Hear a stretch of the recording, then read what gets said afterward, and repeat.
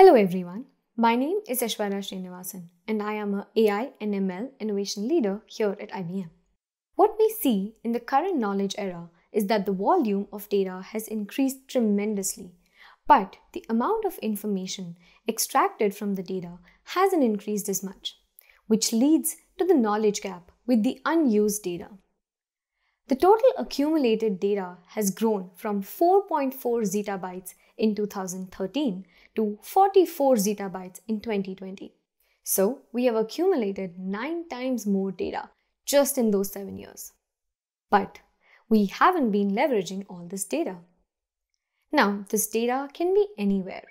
Different industries, organizations, local businesses, individuals store their data in various sources.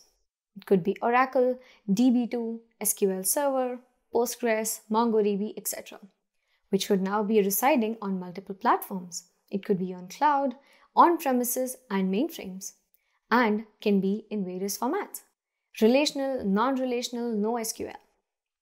The challenge comes when we want to use all of these data sources for analytics and to build models. So, what's the best way to move data? To not move it at all. This is where data virtualization comes into play.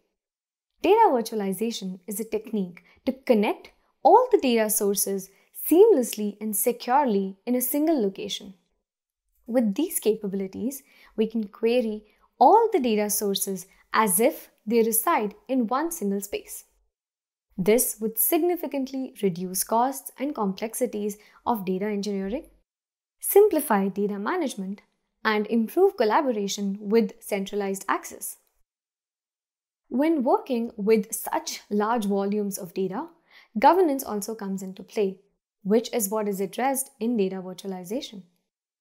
As an overview, data virtualization consists of three layers. The bottom layer is the connection layer that interacts with the databases that we need.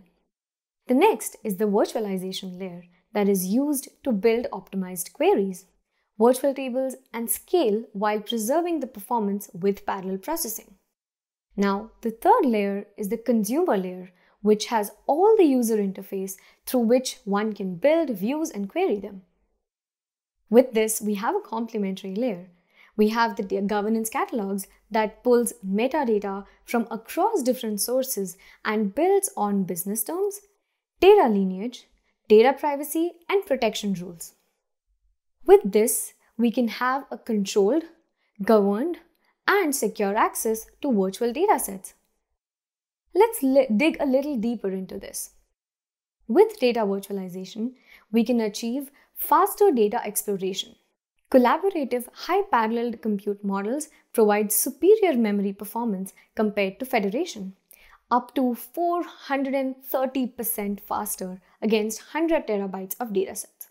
Secondly, when running queries on these datasets, we need to build optimized versions for better modeling. The results is faster insights to your team, with some queries being completed up to 8 to 10 times faster as measured by IBM's internal testing. Third is cost saving. Data virtualization leads to significantly lower costs for infrastructure and reduces time spent on managing data, which has a direct effect on your organization's bottom line. This solution helps enterprises minimize the required storage of data, copies while still remaining continuity between compressed and optimized versions of the source or on production data.